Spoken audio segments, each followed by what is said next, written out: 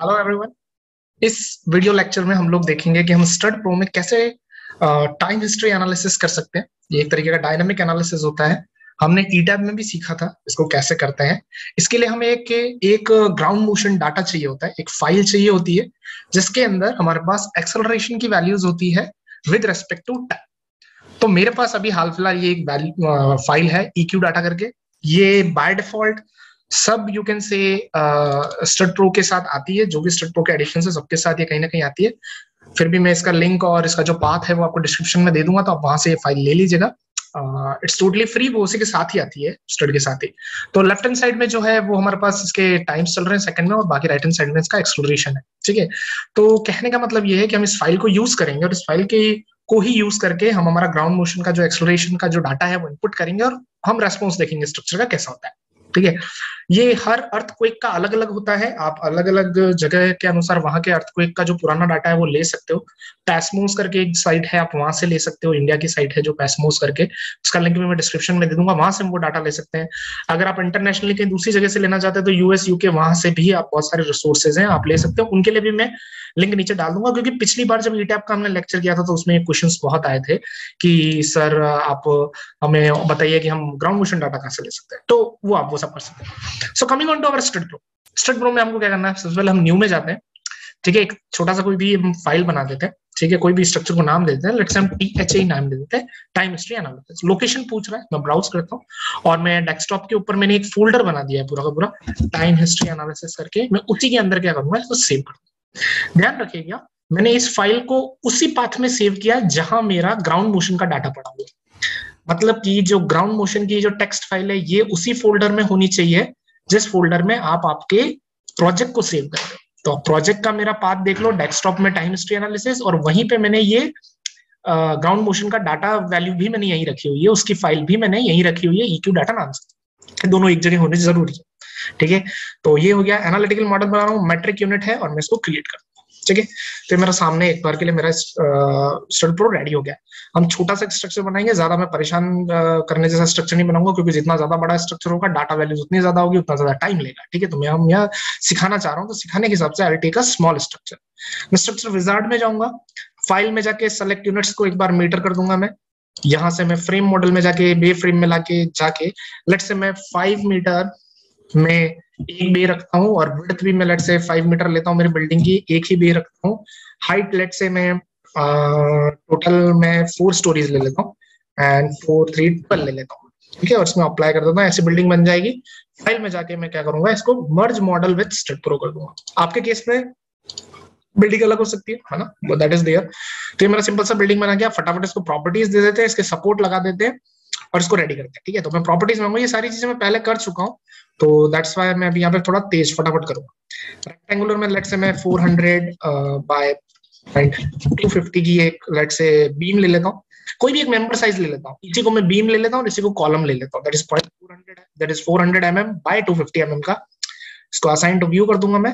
Assign assign मतलब मेरे beam और कॉलम दोनों की साइज़ सेम ही ठीक है?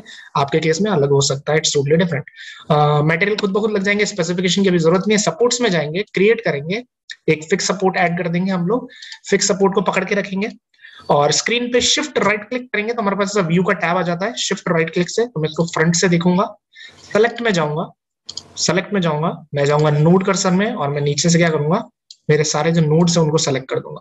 ठीक है? पहले एक बार प्रॉपर्टी सेलेक्ट करना, फिर नोड सेलेक्ट करना। Once it is selected click on assign and click on yes shift right click view में जाके देख लेते हैं। सारे के सारे जो हमारे जॉइंट से, पे फिक्स सपोर्ट लग गया। सपोर्ट्स लग गए। बीम के हमने प्रॉपर्टी दे दी कॉलम की हमने प्रॉपर्टी दी बाकी सारी चीज़ों की अब कुछ नहीं करना आप सीधा हम लोडिंग में जाते हैं। मेनली काम यहाँ पे लोडिंग का ही। सबसे फ़र्स्ट तो डेफिनेशन देनी पड़ेगी हमें टाइम हिस्ट्री की तो डेफिनेशन में जाके टाइम हिस्ट्री को हम लोग ऐड करेंगे। अब यहाँ पे जो चीज़ आती है, उसके बारे में हम लोग देते हैं। Integration time step integration time step मतलब कितने कितने टाइम स्टेप पे आप चाहते हो कि आपका जो मॉडल है, वो इसे एनालाइज करे। You can say time step आपका जो मॉडल है, वो कितने कितने टाइम के स्टेप पे एनालिसिस होगा। तो अगर आप आपका डाटा फ़ाइल देखोगे तो उसमें आप देखोगे आपके पास हर zero point zero two seconds पे एक्सलोरेशन आप जितना फाइन करने जाओगे, उतना फाइन आपको मिलेगा। मतलब जितना ज़्यादा कम टाइम रखोगे आप उस हिसाब से मूव करेगा। तो आपको देखना है कि आप कैसे रिजल्ट्स चाहते हो, उसके बेसिस पे आप इस वैल्यू को चेंज कर सकते हो। लेट्स से मैं 0.002 पे रखता हूँ, ठीक है? ये एक तरीके से नाम है टाइप आप इसको वन ही रख दो। एक्सलेशन ही है लोडिंग मेरे पास। अब नीचे तीन तरीके से आप लोडिंग डाल सकते हो। तो टाइम वर्सेज एक्सलेशन या तो मतलब आप यहाँ से सारे के सारे ये टाइम जो है, इन सबको कॉपी करो। और एक्सलेशन को यहाँ पे आगे की तरफ़ पेस्ट करो। नहीं तो आप सीधा फ़ाइल से भी ले सकते हो। हार्मोनिक मोशंस वगैरह उसमें आते हैं that is sine x cos x वगैरह, ऐसे ट्रिग्नोमेट्रिक फ़ंक्शंस तो उसमें यूज़ होता है। तो मैं एक्सटर्नल फ़ाइल में क्या करूँगा उस फ़ाइल का नाम लिख दूँगा। तो अगर मैं मेरे फोल्डर में जाऊँगा तो फ़ाइल का नाम है ई क्यू डाटा ठीक है? तो इस ई क्यू डाटा नाम को मैं कॉपी करूँगा और एक्सटेंशन के साथ में लिखूँगा। ठीक है? ई डाटा डॉट टी क्योंकि वो टेक्स्ट फ़ाइल है तो डॉट टी आपको लिखना पड़ेगा, ठीक है? ये मैंने लिख दिया सिंपली क्लिक ऑन ऐड तो पीछे मेरे पास यहाँ पे ऐड हो गया। नाउ डिफाइन पैरामीटर्स में जाएँगे। यहाँ पे एक टाइम स्टेप है। टाइम स्टेप वही, आप कितने कितने टाइम पे एनालिसिस करना चाहते हो, मैं बाय डिफ़ॉल्ट जो है वो एक बार रहने दूँगा। डैम्पिंग मेरे स्ट्रक्चर की 0.05 है, मैं रहने देता हूँ। यहाँ था अराइवल टाइम अराइवल टाइम मतलब ये होता है कि कौन से टाइम के बाद में आपको लोड लगाने चालू करने हैं। जो हम लोड्स लगाएँगे, वो कितने टाइम के बाद चालू करने हैं, ठीक है? तो लेट्स से इसमें आप रन मतलब आप इसमें मल्टीपल वैल्यूज़ डाल सकते हो। जैसे वन सेकंड पे लोड डालने चालू कर दो टू सेकंड पे लोड डालने चालू कर दो थ्री पे चालू कर दो, ठीक है? तो जब साइक्लिक लोड आते हैं या ऐसे कोई मशीन के लोड्स हैं जो हम पाते हैं, हमको पता है कि इतने इतने सेकंड के बाद वो लोड आते हैं, तब हम इस वैल्यू को डाल सकते हैं। अभी बाय डिफ़ॉल्ट में सिंपल वन टू थ्री डाल के इसको ऐड कर देता हूँ, ठीक है? पीछे मेरे पास यहाँ पे मेरा टाइम डेफिनेशन कंप्लीट हो गया। अब जाते हैं हम हमारा लोड केसेस में। लोड केसेस में मैं ऐड करूँगा। ठीक है? और एक डेड लोड ले लेते हैं, हमेशा की तरह जैसे लेते हैं, इसको मैं नाम दे देता हूँ डीएल ऐड कर देता हूँ। एक लाइव लोड ले लेता हूँ, इसको नाम दे देता हूँ एल एल ऐड हो गया। और एक डायनेमिक भी लेना पड़ेगा सेस्मिक कैटेगरी के अंडर तो मैं इसको लिख देता हूँ डायनामिक ठीक है? और इसको मैं कर देता हूँ ऐड डेड लोड में जाते हैं ऐड करते हैं, ठीक है? मैं एक वाई डायरेक्शन में माइनस वन के हिसाब से, मैं एक सल्फेट ले लेता हूँ। अभी मैं डेड लोड में सिर्फ़ यही ले रहा हूँ टू सिंप्लीफाई दी प्रोसेस आपके स्ट्रक्चर के केस में हो सकता है कि कॉम्प्लिकेटेड हो, बहुत सारी चीज़ें हो तो उसको रहने देना, है ना? तो सेल्फ वेट मैंने लगा दिया असाइन टू व्यू करके मैं इसको असाइन कर लेता हूँ। सिमिलरली लाइव लोड में जाता हूँ। लाइव लोड में जाने से पहले मेरे को याद याद करना पड़ेगा कि मेरे स्ट्रक्चर की पूरी हाइट कितनी है, वो मुझे याद रखना पड़ेगा, ठीक है? तो मेरे स्ट्रक्चर की हाइट अपने देखी थी बारह मीटर थी टोटल तो मैं लाइव लोड में जाऊँगा ऐड करूँगा, और मैं यहाँ पे फ्लोर लोड ऐड करूँगा। लेट से मैं माइनस फाइव का ग्लोबल वाई डायरेक्शन में एक फ्लोर लोड ऐड कर रहा हूँ फ्लोर लोड और प्लेट लोड के बारे में मैंने पिछले वाले लेक्चर में बहुत अच्छे से बताया। जस्ट पहला वाला जो लेक्चर है, वो आप जाके देख देख लीजिएगा स्लैब डिज़ाइन वाला। तो इसमें मिनिमम मैं ज़ीरो रख रहा हूँ और मैक्सिमम मेरी जो बिल्डिंग की हाइट है ट्वेल्व मीटर वाई रेंज अपन डाल रहे हैं। वाई रेंज में मेरे क्या है ट्वेल्व मीटर तो simply click add and close इसको असाइन करने की ज़रूरत नहीं है, खुद बहुत ही बन जाता है असाइन हो जाता है। आप देख सकते हो ऐसा असाइन है। शिफ्ट राइट क्लिक करके आप फ्रंट से देख सकते हो, थोड़ा सा माउस व्हील जूम आउट करके आप चेक कर सकते हो एवरीथिंग इज़ गोइंग राइट और नॉट ठीक है, फिर से मैं परस्पेक्टिव में आ जाता हूँ। लेट मी जूम ये हो गया। अब आते हैं हम डायनामिक केस में। डेड लोड मैंने ये लगा दिया लाइव लोड लगा। सर, बस इतनी लोड लगाए। मैंने प्रोसेस को सिंप्लीफाई करने के लिए सिर्फ़ ये दो लोड ही लगाए। आपके केसेस में हो सकता है। लोड बहुत सारे। डायनामिक में जाएँगे ऐड करेंगे। अब डायनामिक में आपको क्या करना है? जैसे हमने रेस्पॉन्स स्पेक्ट्रम में भी किया था कि स्ट्रक्चर का सेल्फ वेट का सेल्फ वेट जो होगा, वो हर एक डायरेक्शन में क्या करेगा? पार्टिसिपेट करेगा। एक्स डायरेक्शन में पॉजिटिव वन फैक्टर के साथ आपको एक सेल्फ वेट एड करना है। वाई के अंदर भी ऐड करना है और जेड के अंदर भी ऐड करना है। ध्यान रखना पॉजिटिव के साथ किया। सिमिलरली आपने जितने भी फोर्सेस यहाँ ऊपर दिए हैं डेड लोड और लाइव लोड में, वो सबके सब फोर्सेज आपके डायनामिक में भी लगेंगे पॉजिटिव वैल्यू के साथ में। ठीक है? क्योंकि पार्टिसिपेशन इसमें भी रहता है डायनामिक के अंदर भी। तो हमने क्या क्या दिया है? हमने एक सल्फेट दिया है और एक फ्लोर लोड दिया। तो सल्फेट को तो मैंने लगा दिया तीनों जगहों पे, तीनों डायरेक्शन में। सिमिलरली फ्लोर लोड को भी मुझे लगाना पड़ेगा, तीनों डायरेक्शन ठीक है? तो मैं यहीं पे इसमें फ्लोर लोड पे आ जाऊँगा पॉजिटिव में फाइव कर दूँगा। और रेंज मेरी वही ट्वेल्व रहेगी। एक बार ग्लोबल एक्स में ऐड कर देते हैं, एक बार ग्लोबल वाई में ऐड कर देते हैं और एक बार ग्लोबल जेड में ऐड कर देते हैं। तो आप देख सकते हो, जो ब्लू वाले हैं डायग्राम्स वो उसकी डायरेक्शन बना रहे हैं। ये एक्स में है, ये वाई में है और ये जेड ठीक है? सिमिलरली इस डायनेमिक में एक चीज़ और ऐड होगी, जो कि है मेनली टाइम हिस्ट्री ऐड करेंगे हम लोग इसमें, और यहाँ पे नीचे आप देख सकते हो टाइम हिस्ट्री ऑप्शन है। हम ग्राउंड मोशन डाल रहे हैं अंदर। अराइवल टाइम वही था। कितने टाइम के बाद आपको लोड देखना है। एग्ज़ाम्पल के लिए मैं टू ले लेता हूँ थ्री भी ले सकता हूँ, कुछ भी ले सकता हूँ। डिफाइन टाइप में एक्सलोरेशन हो गया। डायरेक्शन एक्स एक्स डायरेक्शन में उसको पुश करेगा। Force amplification factor late say मैं वन ले सकता हूँ। आप फोर्स इसको फोर्स को एम्पलीफाई करने वाली बात है। डेढ़ गुना, दो गुना, ऐसा। तो मैं वन लेके चलता हूँ ऐड करके क्लोज कर देता हूँ। ठीक है? तो हमने क्या क्या कर दिया? हमने टाइम हिस्ट्री की डेफिनेशन कर दी, हमने डेड लोड डाल दिया लाइव लोड डाल दिया, उन्हें सारे लोड्स को हमने सारे डायरेक्शन में कॉपी पेस्ट भी कर दिया, एक तरीके से पॉजिटिव ठीक है? ना अब सारी चीज़ें हो गई है। कॉम्बिनेशन लगा देते हैं एक बार के लिए। लोड केस में जाके मैं ऐड करता हूँ। लोड डिफाइन कॉम्बिनेशन में आप ऑटो लोड कॉम्बिनेशन भी कर सकते हो। मैंने पहले लेक्चर्स में बताया। या आप सिंपली डिफाइन भी कर सकते हो। लेट से मैं एक सिंपल सा डिफाइन कर लेता हूँ। समझने के लिए DL plus L L plus E Q मतलब वो डायनेमिक वाला जाता है। उसको लेट से डीवाई लिख देता हूँ। डीवाई का मतलब डायरेक्शन से लेना देना कुछ नहीं है। वाई से कंफ्यूज मत होना। डीवाई फॉर डायनेमिक ठीक है? सिंपली बात। तो मैं क्या करूँगा? इन सबको इधर ले लेता हूँ। वन वन वन के अंदर ही एक बार ऐड कर देता हूँ। एक तो कॉम्बिनेशन ये हो गया। एक हो जाएगा DL plus L L minus D Y ठीक है? दैट इज़ डायनेमिक जो होगा, वो एक बार माइनस हो जाएगा, ठीक है? एक्चुअल अगर आपको लेने हैं तो आप सारे के सारे अपने इंडियन स्टैंडर्ड कोड के अनुसार लीजिएगा। ठीक है? कि कहाँ पे minus one point two use हो रहा है, कहाँ पे वन पॉइंट फाइव यूज़ हो रहा है ठीक है? यहाँ पे मैं एक माइनस वन कर दूँगा, क्योंकि मेरा डीवाई जो है वो माइनस वन है। डायनामिक तो मैं इसको ऐड कर दूँगा सिंपली आप यहाँ देख सकते हैं हमारा DL plus L plus DY तो पॉजिटिव में सब प्लस हो गए, और एक, दो डीएल और एल एल पॉजिटिव में हुए। और ईक्यू जो था या हमारा डायनामिक जो था, वो माइनस में ठीक है? तो ये लोड कॉम्बिनेशन भी हमारे जनरेट हो गए। ठीक है? सिंपल है चलो। तो लोड का सारा काम हो गया हमारे पास, है ना? आपको आपके स्ट्रक्चर में भी सारे ये लोड डालने हैं। ध्यान रखिएगा, जितना ज़्यादा बड़ा स्ट्रक्चर होगा, उतना बड़ा ज़्यादा एनालिसिस होगा टाइम लगेगा, उतना आपको ज़्यादा ध्यान भी रखना पड़ेगा चीज़ों का, ठीक है? ना going on to analysis analysis में डिफाइन कमांड करेंगे, एक परफॉर्म एनालिसिस कर देते हैं। अब हमको एनालिसिस का डाटा भी देखना है दैट इज़ मोड शेप्स वगैरह, वो सब, कितनी फ्रिक्वेंसी रहेगी, वो सब। तो अब यहाँ ऊपर पोस्ट एनालिसिस कमांड में जाना। पहले वाले स्टड में यहाँ नीचे की तरफ़ आता था, अभी यहाँ आता है पोस्ट एनालिसिस कमांड में जाना या डिफाइन कमांड करना।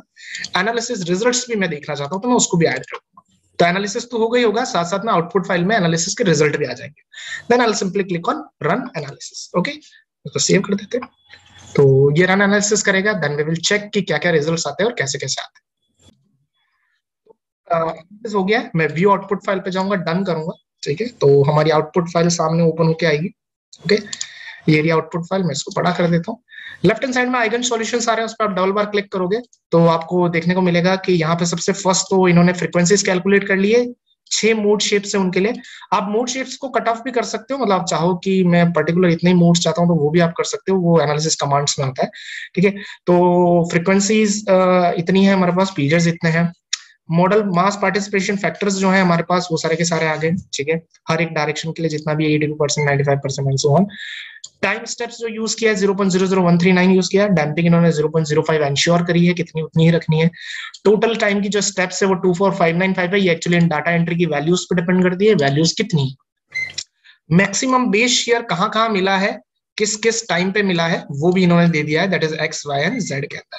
फिर यहाँ से आपके जॉइंट डिस्प्लेसमेंट चालू होंगे, जितने भी आपके डिस्प्लेसमेंट्स है ज्वाइंट और ध्यान रखना लोड्स हमारे पास कितने थे? हमारे पास one two three four five load cases थे। एक डेड लोड दूसरा लाइव लोड थर्ड हमारे पास that is E Q fourth combination और फिफ्थ भी कॉम्बिनेशन तो आप उसके अनुसार जब भी इसका ज्वाइंट का डिस्प्लेसमेंट देखना है तो depending on the number of joint जितने नंबर ऑफ़ जॉइंट होंगे, उतनी बड़ी टेबल होगी। ठीक है? यहाँ से सपोर्ट रिएक्शन चालू हो जाती है। सेम वही लोड कॉम्बिनेशन के लिए आपके जितने ज़्यादा ज्वाइंट होंगे, उतने ज़्यादा आपके सपोर्ट रिएक्शन होंगे। ठीक है? फिर मेंबर फोर्सेस चालू हो जाते हैं। यहाँ से आप मेंबर फोर्सेस देख सकते हो। हमें मेनली कॉम्बिनेशन ही देखने होंगे। That is four and fifth वाले जो है, उसमें हमको देखना होगा। ठीक है? तो आप यहाँ से ये सारी चीज़ें देख सकते हो। ना इसको क्लोज करते हैं। पोस्ट प्रोसेसिंग मोड में जाते हैं। पोस्ट प्रोसेसिंग मोड में लेट से मैं सिर्फ़ और सिर्फ़ हमारे कॉम्बिनेशन से लेता हूँ इसको अप्लाई करके ओके कर देता हूँ। हम पोस्ट प्रोसेसिंग मोड में आ जाएँगे। यहाँ पे हम लोग टॉप में डायनेमिक्स में जा सकते हैं, ठीक है? डायनेमिक्स में जाके आप यहाँ पे देख सकते हो, आपके पास मोड्स अलग मोड वन टू थ्री इसमें आपको अलग अलग यू कैन से इनकी डिफॉर्म वैल्यूज़ डिफॉर्म शेप दिखेगी। हर एक चीज़ में कैसे कैसे ये डिफॉर्म हुए हैं। एक टाइम स्टेप है, आप हर एक टाइम के अंदर देख सकते हो कितना डिफॉर्म होगा, क्या होगा, सारी की सारी चीज़ें, ठीक है। यहाँ से आप डिफ्लेक्शन एंड वो भी देख सकते हो, जैसे मैं डिफ्लेक्शन पे क्लिक कर रहा हूँ तो मेरी इमेज कुछ ज़्यादा ही बेंड हो रही है। वो स्केल की वजह से हो रही है। यहाँ ऊपर स्केल में जाके आप डिस्प्लेसमेंट में स्केल को सेट कर देना ज़ीरो पॉइंट लेट एट करके देखते हैं अप्लाई करके ओके तो नाउ गुड ठीक है। तो आप अलग अलग you can say mode shapes के लिए अलग अलग तरीके का आपका जो भी शेप है वो आप देख सकते हो यहाँ से टाइम स्टेप्स ठीक है? लेआउट्स में अगर जाओगे या डायनामिक के टैब में लेआउट में जाओगे तो यहाँ एक्सलोरेशन में अगर जाओगे तो आपको आपके हर एक नोड का एक्सलोरेशन मिल सकता है। जैसे मैंने इस पर क्लिक किया, ये बोल रहा है did you know that you can view the average of the time step value for entire floor ये पूरे फ्लोर के लिए भी आप क्या कर सकते हो एवरेज वैल्यू भी देख सकते हो। अगर आप अभी डिफाइन करना चाहते हो तो मैं बता देता हूँ इसको अपन डिफाइन कर लेते हैं। किसी भी एक फ्लोर का नाम दे देते हैं लेट्स से टॉप फ्लोर ले लेते हैं अपन। टॉप फ्लोर हो गया, इसको ओके कर देते हैं। और टॉप फ्लोर में लेट से मैं यहाँ वाले नोड पे क्लिक करता हूँ, फिर मैं यहाँ वाले नोड पे क्लिक करता हूँ, फिर यहाँ और फिर यहाँ। ठीक है, हो गया, इनको मैं कर देता हूँ एसोसिएट ठीक है तो एक टॉप फ्लोर नाम का पूरा का पूरा मेरा एक ग्रुप बन गया। तो जब मैं टॉप फ्लोर पे क्लिक करूँगा तो राइट हैंड साइड में आप देख सकते हो, ऊपर ही ऊपर मेरे पास क्या आ रहा है, एक टाइम्स टू एक्सलेशन का ग्राफ आ रहा है, कि 1.45 मीटर पर सेकंड स्क्वायर का एक एक्सलेशन जनरेट हो रहा है 4.6 सेकंड पे, और उसके बाद वैल्यूज़ रिड्यूस हो रही है। ध्यान रखना, ये एक्स के लिए है ठीक है? और नीचे वाला जो है, ये एक्स के लिए है, ये वाई के लिए है एंड ये जेड के लिए, ठीक है? तो ये एक्सप्लोरेशन है हर एक के लिए। अगर आप पर्टिकुलर किसी नोड के लिए भी देखना चाहते हो तो उस नोड पे भी आप क्लिक कर सकते हो। जैसे पर्टिकुलर इस नोड पे क्लिक करोगे तो राइट हैंड साइड में डायग्राम उस हिसाब से हमारे अपडेट हो जाएँगे ना? तो इस तरीके से 1.2 नाइन सो ऑन सो आप उस हिसाब से अपनी वैल्यूज़ देख सकते हो। ना सिमिलरली यहीं पे आप अगर लेआउट में जाओगे तो हमारे पास डिस्प्लेसमेंट लेआउट्स भी आप उसमें भी क्लिक कर सकते हो, और सेम वैसे ही आप आपके वैल्यूज़ देख सकते हो हर एक चीज़ के लिए। ठीक है? तो ये एक सिंपल सा तरीका था यू कैन से एक अप्रोच थी, जिसमें आप टाइम हिस्ट्री एनालिसिस कर सकते हो और आपका बिल्डिंग का देख सकते हो कि कैसा एक्सप्लेशन जनरेट हो रहे हैं नोड्स पे, क्या उनका डिस्प्लेसमेंट रह रहा है और वो सारी की सारी चीज़ें। So that's it for this video I hope you like the video अगर कोई भी क्वेश्चन हो तो आप पूछ लीजिएगा। मैं सारे जो लिंक्स है वो डिस्क्रिप्शन में दे दूँगा, ताकि आप लोगों के लिए चीज़ ईजी हो जाए। ओके देन चलो बाय टेक केयर